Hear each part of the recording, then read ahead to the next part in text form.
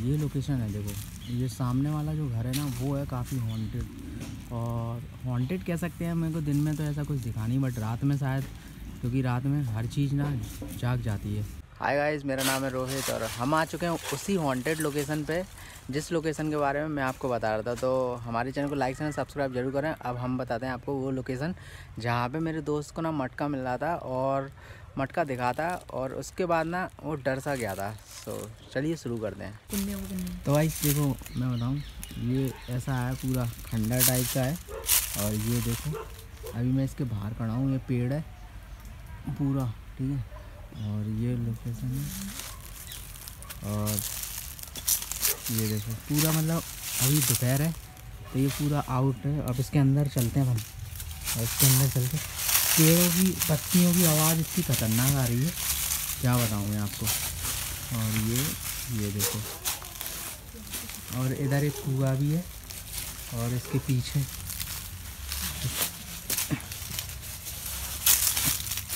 इसके पीछे ये देखो भाई सच बोल रहा हूँ, डरावनी जगह तो है ये। बट अगर आप लोग चाहते हैं कि हमें यहाँ रात में शूट करें तो हमको कमेंट कर देना।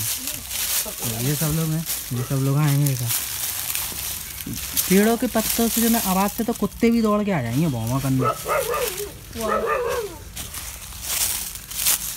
भाई एक तो ये। और एक ये रूम है ये देखो। ये देखो।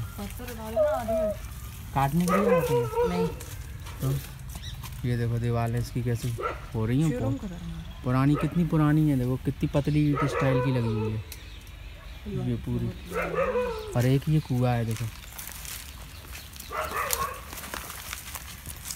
ये पानी अभी है। ये कुआ है और इसमें देखो पानी भी है। बस रात के टाइम बहुत ज़्यादा खतरनाक हो जाएगा और ये पीछे देख रहे हो जंगल टाइप का है और इसके पीछे दीवार है। तो बस यही लोकेशन है। अगर कोई भी चाहता है तो हमको कमेंट शेयर और सब्सक्राइब दोनों कर देना। तो हम जिससे रात में यहाँ पे आके शूट करेंगे।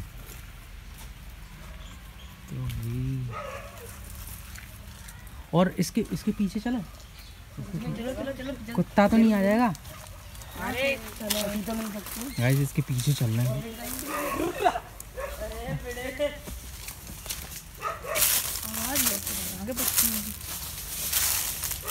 ये देखो।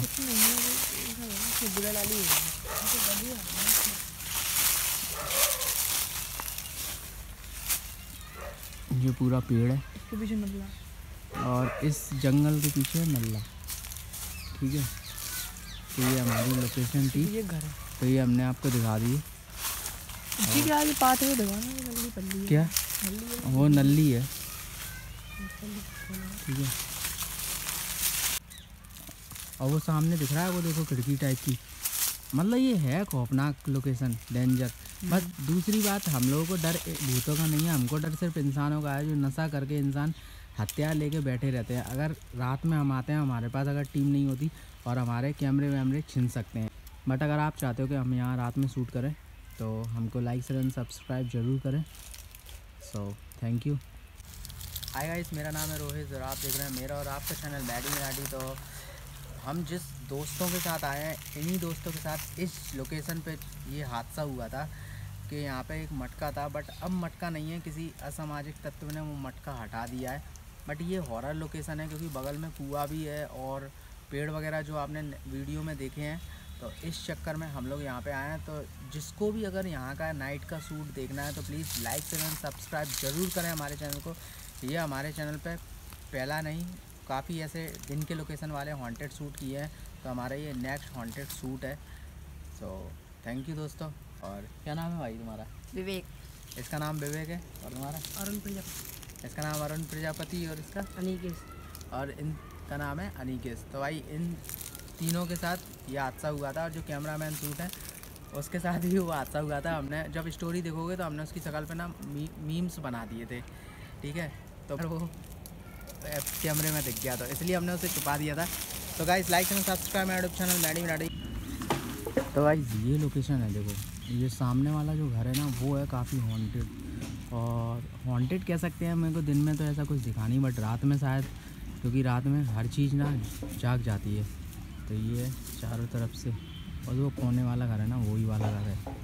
तो गाइस हमारा तो हो गया है भाई वीडियो वीडियो बन गए हैं, अब हम जा रहे हैं सीधे घर पे।